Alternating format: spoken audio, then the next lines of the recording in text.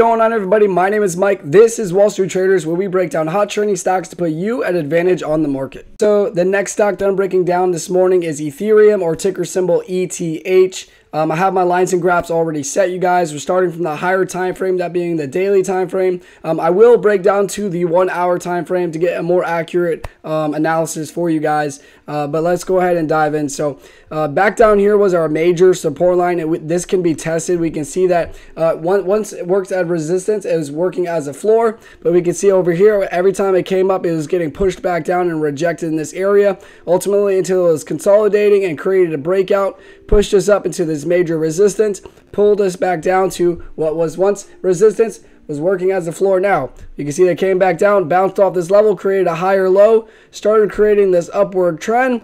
We hit this major resistance area, created a, break, a breakout, then consolidated, pulled back down onto was once resistance, was now a floor. You can see that bounced off of this level, came all the way up here, and now we're kind of pulling back and chopping around. So let's go ahead and dive into where we're at right now. So we're down almost 6% for the day. Um, and other than that, I, all I can see is that we're in this downward trend and we're going to be pulling back either to this 2,100 level or more than likely we're going to be pulling back down to this 1995 level. This is more of a heavily tested area. So this would be the more safer entry. You can get back down here at the $2,100 uh, level. Uh, the thing is that we're kind of already there. Um, but if you want to get in there, just like I said, uh, maybe have a mental stop loss around the $2,000 level. So if it does break below that, you can wait for the better entry and that being at the two thousand or the nineteen hundred dollar level. So let me just show you what I'm uh, uh, what exactly you're looking at on the one hour chart. So you can see that this is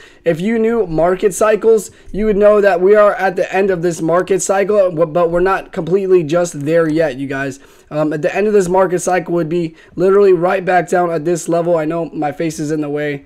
Let me move that a little bit.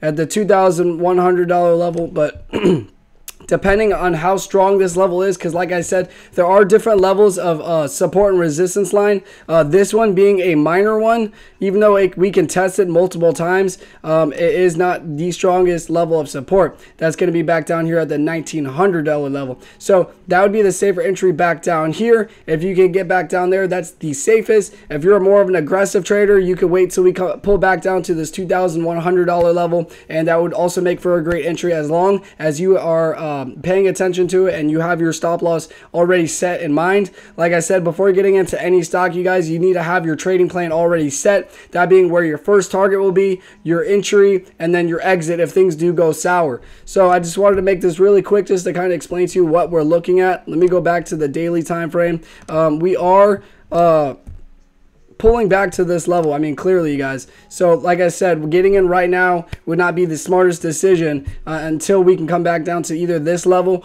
or back down to this level, you guys. So, I just wanted to make this video uh, really quick, just kind of explain to you on what exactly where we're at and what you're looking at. So, if this video helped any type of way, please hit that like and subscribe button, you guys. I create this content every single morning except for Sundays. Um, but other than that, I hope you guys have a beautiful day and happy trading.